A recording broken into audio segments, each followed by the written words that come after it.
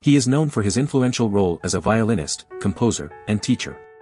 He honed his skills under renowned instructors, including David Ridley Kohne and Jakob Dont. Leopold Auer achieved great success in his musical career. In the heart of Hungary, a young boy named Leopold Auer was born into a modest Jewish family in Veszprém on June 7, 1845.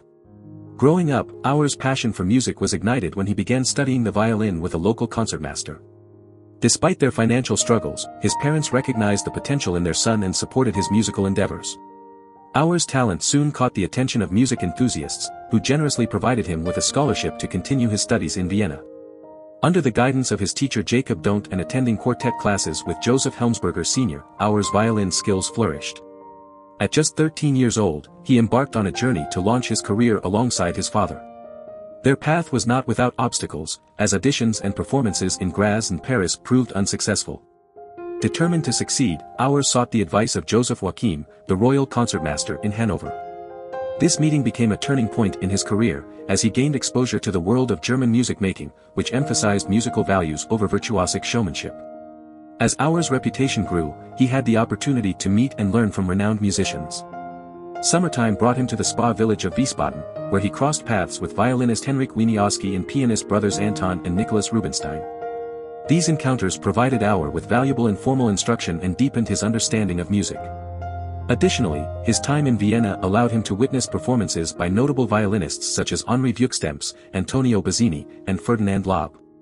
With his talent recognized, Auer was invited to perform as a soloist with the Leipzig Gewandhaus Orchestra, conducted by Felix Mendelssohn's friend, Ferdinand David.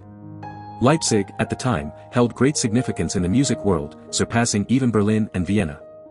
This success opened doors for Auer, leading to his appointment as concertmaster in Dusseldorf at just 19 years old. He later attained the same position in Hamburg while also pursuing his passion for chamber music as the leader of a string quartet.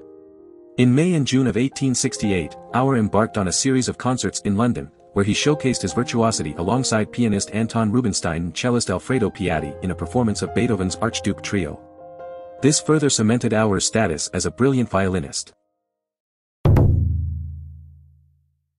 In the early 1900s, the Jewish community in St. Petersburg thrived, even though it was located outside of the restricted Jewish Pale of Settlement in Russia.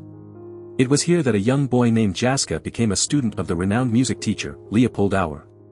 Jascha was only 10 or 11 years old at the time, but Auer saw in him a remarkable talent. Under Auer's guidance, Jascha not only honed his musical skills, but he also received a comprehensive education that extended beyond music. Auer believed in shaping his students' personalities, teaching them style, taste, and musical breeding. He encouraged them to read books, guided their behavior and career choices, and even polished their social graces. Auer knew that to succeed in an international career, his students needed to be well-rounded individuals. Even after his students started their careers, Auer continued to watch over them like a proud father. He wrote countless letters of recommendation to conductors and concert agents, helping them secure important opportunities. He went above and beyond for his students, traveling to London to coach Mischa Elman as he prepared for his debut there. Auer also continued to work with other students like Efrem Zimbalist and Kathleen Parlow, providing ongoing support and guidance. Leopold Auer's influence on Jascha and his other students extended far beyond music. He instilled in them a sense of discipline, a love for learning, and a drive for excellence. Auer's dedication to his students' success and his unwavering belief in their potential made him not just a teacher, but a mentor and a father figure. Do you want to explore more composers? Who do you want to see featured next? Subscribe and leave a comment below to let me know. I'll see you in the next video.